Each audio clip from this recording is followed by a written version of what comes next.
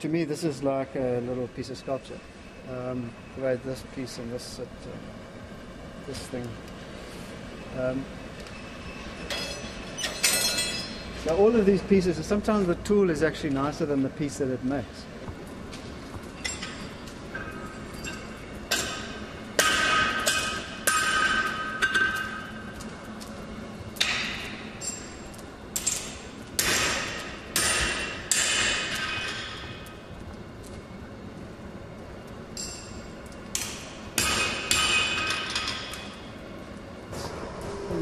Stuff like.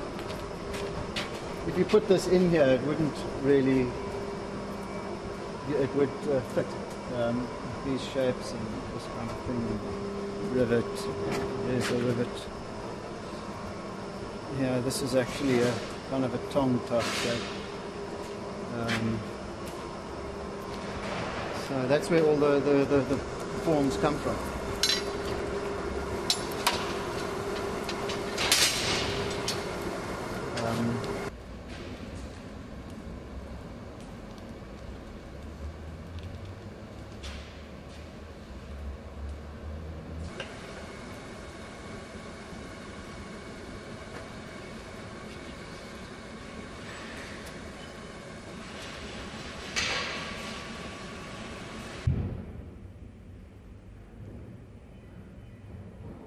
Well, I think with an artisan or a craft craftsman, blacksmith, they would be making something which would be off a working drawing or design which exists already um, or similar to.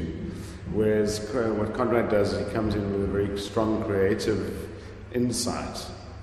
And then he, he creates drawings, and out of those drawings, he would create works.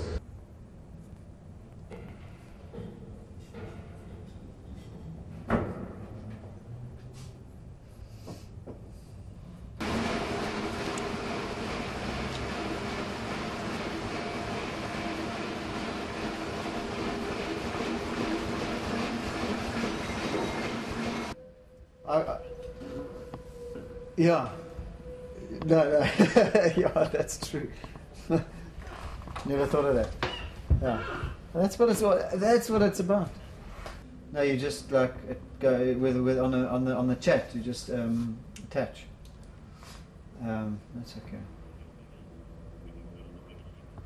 No, uh, my email's open. Um,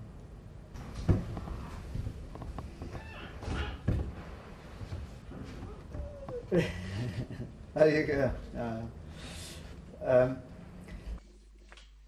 Okay, so so Conrad, I, I thanks for the pictures the other day. By the way, I showed them to Rick, and uh, it just keeps getting more and more surprising all the time how it how it keeps unfolding.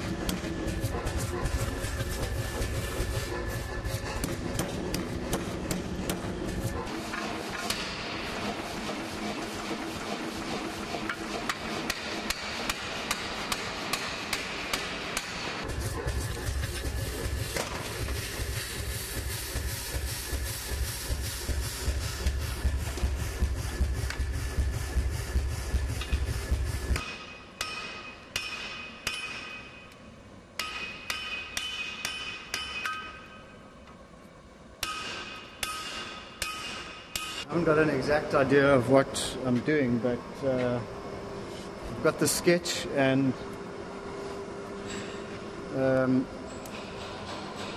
and the, the, the, shapes that are that are that I end up with kind of emerge while I'm working.